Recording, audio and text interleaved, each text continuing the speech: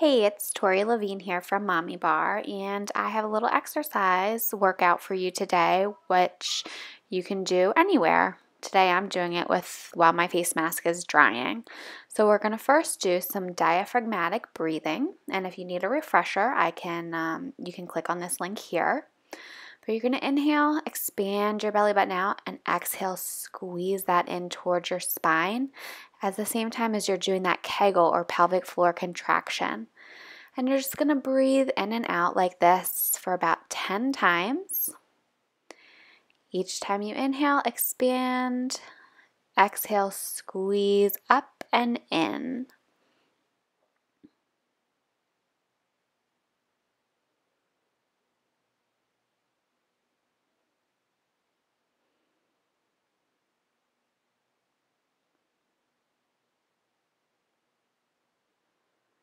Inhale, exhale here. Now we're going to hold that squeeze for 10 seconds. Good, and release.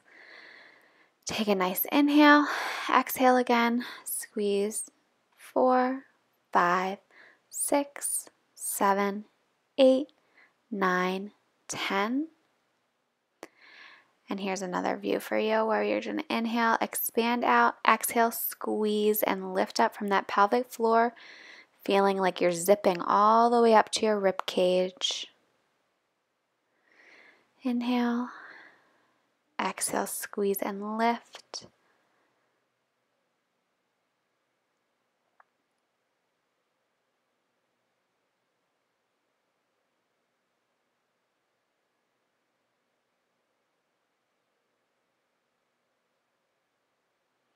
And I like to do this in sets of 10. So 10 inhale and exhales, just doing those contractions each time as you exhale. And then sets of uh, counting to 10 where you hold that squeeze for 10 seconds. And five, four, three, two, one. Good. Relax. Expand and squeeze again. See how your be- that belly button lifts up? You want to feel that. Keep that lifted. You can breathe throughout this, but you want to keep that contraction of your pelvic floor and core.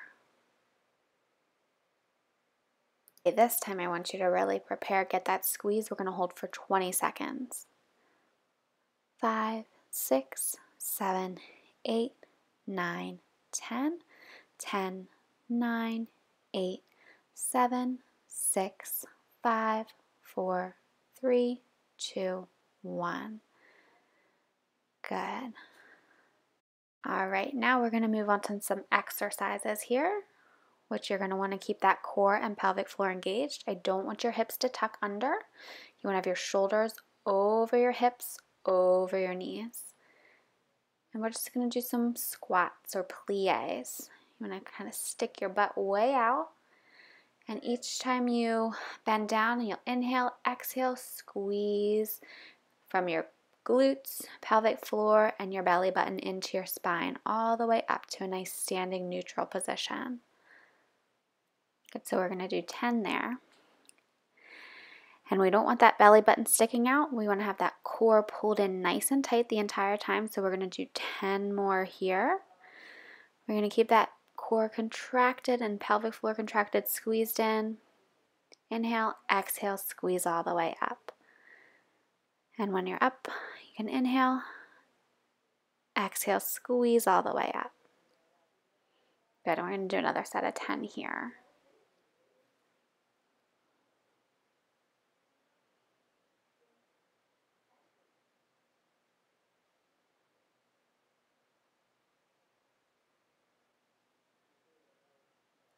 Now we're going to get into a teeny tiny little plie where I'm going to have you face your knees and your toes out a little bit and we're going to do some hip isolations and contractions to really work that lower core and pelvic floor. So you're going to engage like you did in the beginning and you're just going to push one hip out to the side and then switch to the other side. You want to keep that core contracted the entire time.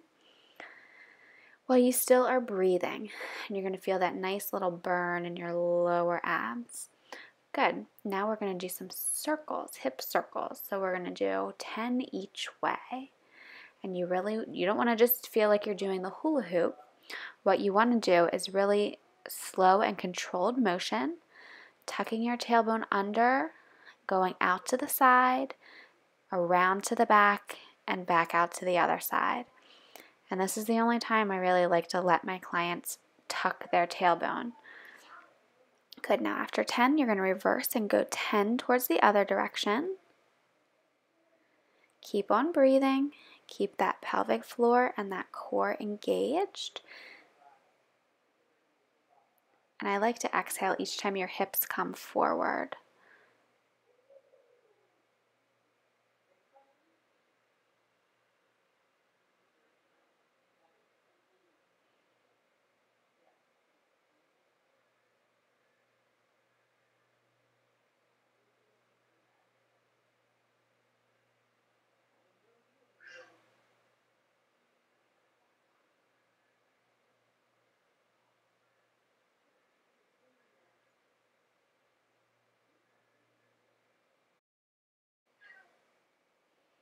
Okay, we're going to do some little pelvic tilts or contract core contractions.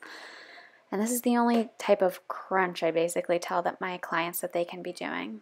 You're going to have your shoulders over top of your hips, knees slightly bent, just like they were already. I just turned to show you a little bit more of the movement.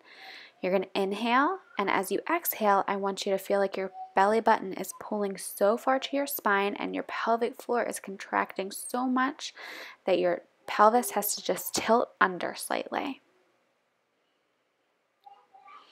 So inhale, exhale, squeeze, and you're going to do that little tilt. Inhale, exhale, squeeze, and that little tilt there. Inhale, exhale, squeeze, that little tilt.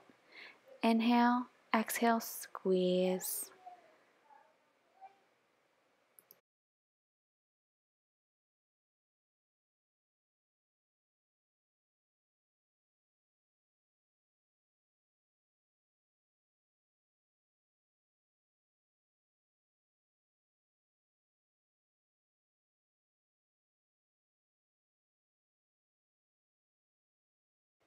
And here again, I like to do sets of 10 to 20. All right. Now we're just going to do one of my other favorite exercises that really warms up your core and you can feel that core engaged in that pelvic floor. It's just marches. And the important thing here is what you're going to do is, like you did in the beginning, maintaining that core contraction and that pelvic floor being lifted. Feeling like you have a string or a zipper all the way down from your pelvic floor, zipping everything up all the way up to your ribs. And I like to add in a little opposite arm, opposite leg. Helps with your coordination. All right, and I like to just stop in between if I feel like I'm not getting that contraction and just do a few of those diaphragmatic breathing exercises where you inhale, exhale, squeeze, and lift just to recenter myself. Before I start doing more marches.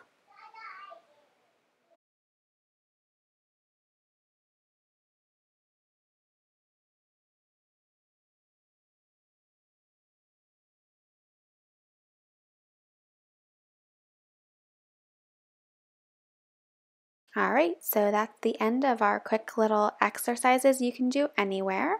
What I like to do when I'm waiting for my face mask to dry. So thanks for joining me. Uh, I'll see you next time at the barre. You can sign up for sessions on the Work With Me tab on our website and make sure you subscribe to our YouTube channel so you get notifications every time we post a new video. Make sure you check out some of our playlists and other videos for great tips prenatal and postnatal. All right, see you at the barre.